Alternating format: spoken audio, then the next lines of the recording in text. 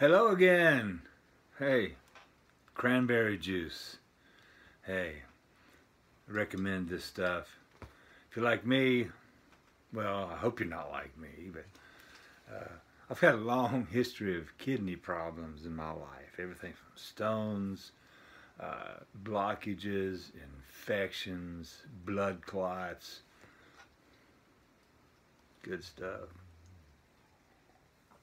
Ah, but anyway, uh, this week several of the regional shops have started opening back up, uh, mostly to limited clients. They've you know reduced the number of people that can be in the store at one time, social distancing, all that stuff. But anyway, I was so thrilled, thrown that several of my favorite shops were open again. So I did a little digging. First, I went to Cheap Thrills, Cheap Thrills Records in Princeton, West Virginia. Uh, found a few little things there. Steve Miller Band, uh, Abracadabra. I've been wanting to get this album for a long time, and it had a pretty good price there. Uh, I love the song Abracadabra, which is actually probably the best thing on the album. Uh, not bad, not bad. Oh, and I found this. You know, I've got uh, I've got a, a re repress of this from a few years back, but this is uh, this is a, an original U.S. on the date let me get it out of there. On the date label. hey, this album is so good. It's worthy of having two copies of it. And uh, particularly, now this is a this is a VG. It's got a little water damage. Uh, the the vinyl itself is VG, but um, man, love this record, love it. And I found a copy of this, also at Cheap Thrills. I already had a copy of this, but this is definitely an upgrade. Man, just nice and clean. It's got a little bit of writing on the back.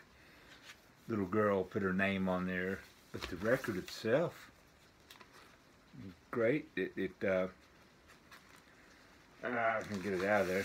Came with the original VJ inner sleeve.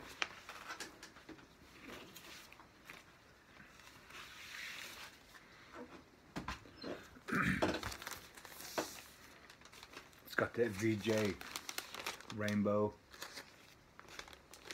Notice it's got the Beatles on the high side of the drill hole, the spindle hole, whatever you want to call it. So, thrilled with that. Pardon me.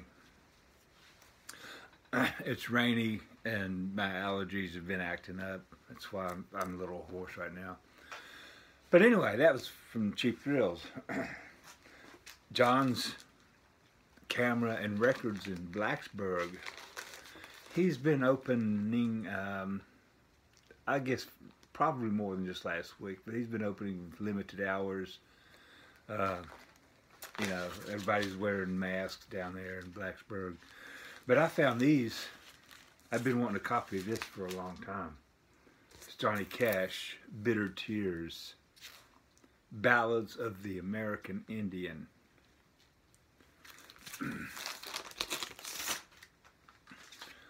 this is probably the first Johnny Cash record I remember hearing. My dad had a copy of this. Uh, oh, whenever it first came out, he bought it. And the main reason was that uh, my dad was a Marine. Uh, and uh, it had that song on there, The Ballad of Ira Hayes, which is about uh, one of the uh, Marines that planted the flag uh, on the mountain top in Iwo Jima during World War II. famous photograph that was made into a statue that commemorates the Marines taking Iwo Jima. So, anyway, great, great album. It's uh, definitely a uh, early, uh, I guess, a concept album. Songs about the American Indians. Beautiful. Let's see. Paul Kossoff. Who's Paul Kossoff? Some of you know, some of you don't. He was a guitar player. Uh, died way too young. Um, you're probably familiar with Paul Kossoff, uh, the band Free, back about 1970, had a big hit called All Right Now, which had some really nice guitar work in it. It was Paul Kossoff. And uh, I saw this down there, man. This is this was a nice album. Backstreet Crawler, mainly instrumental. Uh, it's got um, oh, who was that singing on there? Paul Rodgers from Free and Bad Company does uh, some vocal work on here, but this is mainly an instrumental album. Some parts of it's kind of fusiony, definitely a cool instrumental, basically instrumental rock album. And speaking of uh, guitarists, Larry Coryell, Spaces. saw this down there and I had to pick it up. It was a decent price too. Uh, this was um, had uh, Larry Coryell playing with uh, John McLaughlin, Chick Corea, Billy Cobham, and uh, oh, was that Miroslav Vitous? Uh, sorry, I don't have my glasses and I can't quite read that. But anyway, nice fusion jazz. This is um, kind of like uh, a lot like early Mahavishnu Orchestra. It's very, very uh, nice guitar jazz. And I got this. This is an upgrade. I had an old, uh, severely water damaged copy. Uh, the record is VG, but this is this is a nice, nice clean copy of Spirit to Twelve Dreams of Dr. Sardonicus. I love that. Look at that. Woo. All right. So, um, that was from uh, John's Camera and Record Shop in Blacksburg. Well, just a couple days ago, uh, I went to Tazewell, and that shop is uh, opening up to. Uh, uh, I think he's he's only limiting five people at a time in the shop, uh, but I was there at the right time, and he just got some new records in, which I thrilled me to death. So, but you know, uh, welcome back collectibles or um, Tazewell Retro Gaming. I think he goes by several, several titles down there, but it's got a lot of uh, collectible stuff. Everything from uh, toys, uh, wrestling memorabilia, games, posters, uh, dolls, all kinds of stuff, and some records. But this was uh, one of the first things I saw. He had he just brought a box of 45s, and this was in there. Nice. He had several other Beatles, uh, but uh, this one was in the best shape, so I picked this one up. Yeah, we can work that work it out, Day Tripper, on the. Uh, Capitol Swirl. Really happy for that one. Bob Dylan's first album. Believe it or not, I have never had a copy of this. I've had a bunch of Bob Dylan records and uh, CDs, but I saw this one. It, it's it's not a uh, an original first press, but it's um, uh, it's a later pressing of uh, this album and love this love this album and this is nice clean coffee too Got it for a real good price. And here's a couple in that new stack of records he had. Paul Revere and the Raiders, Revolution, and Alias, Pink Fuzz. This Revolution, 1967. This one was, uh, I wouldn't necessarily call this a psychedelic album, but uh, it definitely uh, touches on some psychedelia in several of the songs. I love that little symbolism in the 60s. Uh, there was a kind of this thing about tea, and tea was kind of a uh, symbol of uh, enlightenment, of an awakening, usually in reference to drug use. So, could that be a reference? But, uh, great album. I had a dream. I hear a voice. Alias Pink Fuzz.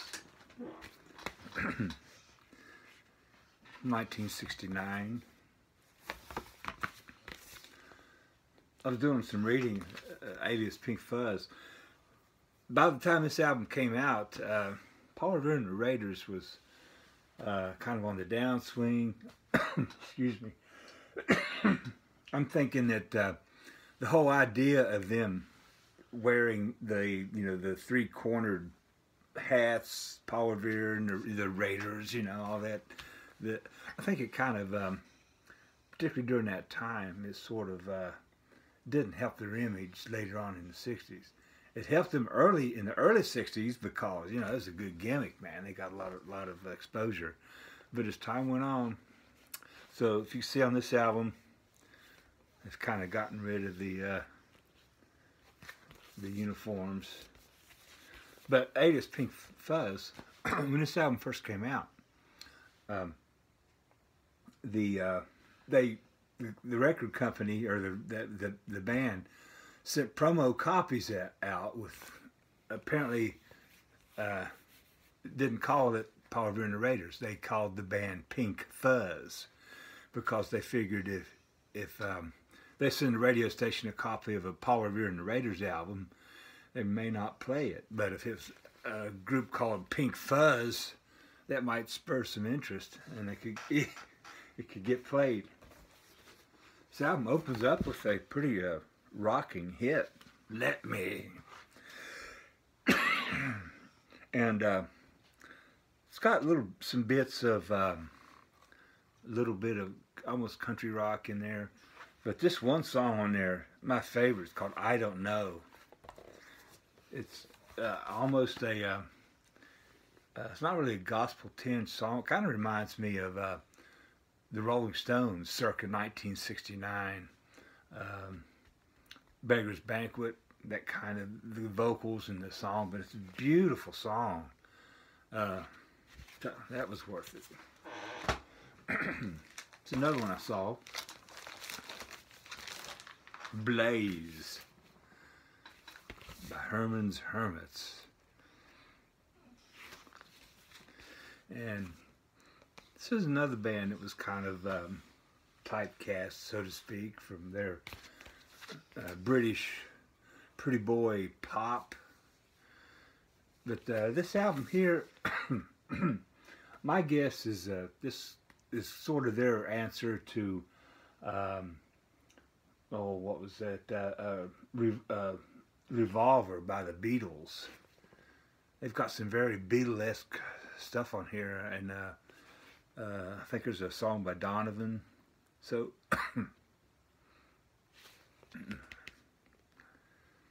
I, saw a few years ago. I think on Record Store Day there was a reissue of this, but you know I could find this uh, original pretty cheap, so I got it. like to do a little shout out here to uh, Cosmic Brian. Cosmic Brian over at uh, Cosmic Vinyl. you need to check him out if you don't already. know this guy. He recently did a uh, uh, kind of a history of bubblegum. It's an ongoing thing. Uh, I think he's had the first two episodes of his history of bubblegum music. And just so happened, I watched that video day before yesterday. Uh, I watched his videos. And when I went to the uh, shop in Tazewell, I found these. And this is what I love about vinyl community videos. It can be very educational because if I had not watched Brian's Cosmic Brian's video on bubblegum, I might have just passed these up. But man, these are wonderful albums. This is um, Katz Super Cirkus.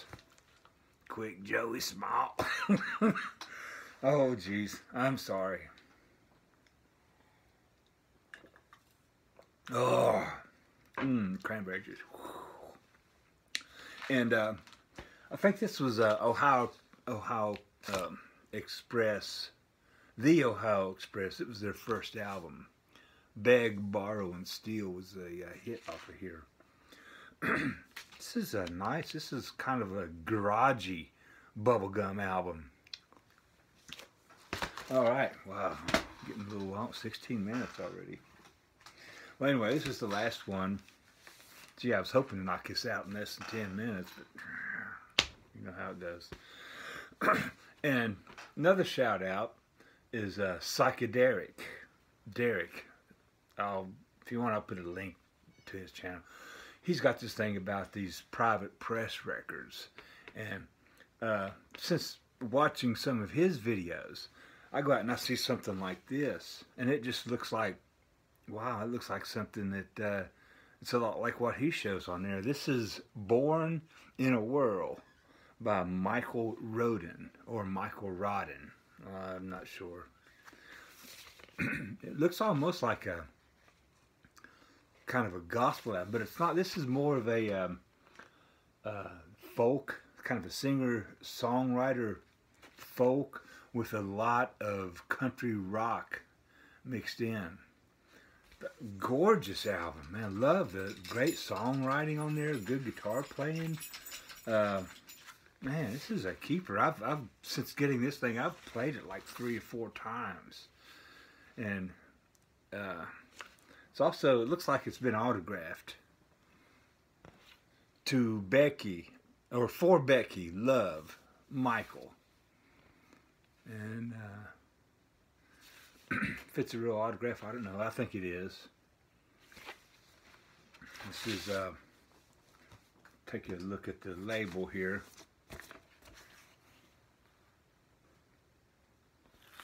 Yeah, Born in a Whirl.